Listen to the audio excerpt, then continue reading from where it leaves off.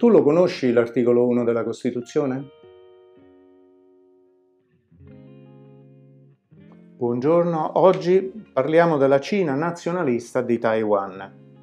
La struttura della Costituzione è di 175 articoli, è un paese che è concentrato in un'isola e quindi molto molto vicina a questo colosso che è la Repubblica Popolare Cinese e quindi come è accaduto per il passato e come continua a accadere, che ne so, con l'Olanda e la Germania, la Spagna con la, il Portogallo, il Belgio con la Francia e così via, anche qui abbiamo un'isoletta, un'isoletta so, medio-grande, che comunque subisce questa presenza enorme e anche minacciosa, perché la Repubblica Popolare Cinese a certi periodi, e credo anche ad orologeria, si alza e dice decidiamo di invadere Taiwan e quindi sono armati fino ai denti, peggio di Sparta.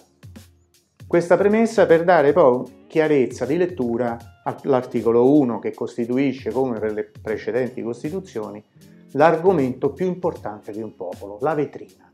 Leggo. La Repubblica della Cina, fondata sui tre principi del popolo, è una repubblica democratica del popolo, governata dal popolo e per il popolo. Capite la differenza? Qual è? La Repubblica Popolare Cinese è una struttura verticistica che non ammette critiche, dirigista, efficiente, ma comunque il popolo non conta nulla.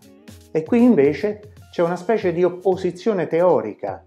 Il popolo conta, è quello che decide i destini della nostra Repubblica. Da notare che l'articolo parla della Repubblica della Cina, punto. Attenzione e fa riferimento ai tre principi del popolo che furono teorizzati da un filosofo medico, agitatore politico, grandissimo organizzatore anche, che fu Sun Yat-sen. I tre principi del popolo erano nazionalismo, democrazia, benessere. Tanto per farla molto stretta. Eh, comunque c'è da leggere, suggerisco di leggerlo questo libricino di Sun Yat-sen del 1925. Ecco, la forza di Taiwan è la sua potenza tecnologica.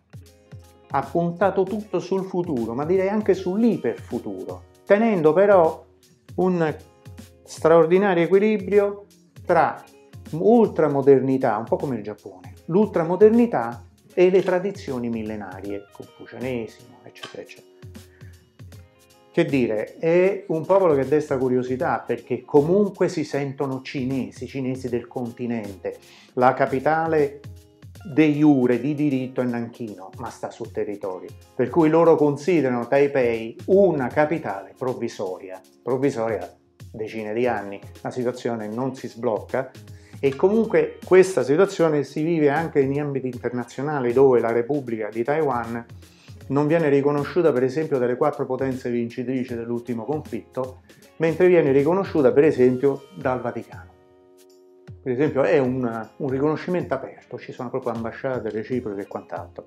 Perché? Perché questo significa indispettire una potenza di prima grandezza come la Cina. Quindi non è neanche un fatto di diritto, ma è un fatto di opportunità politica.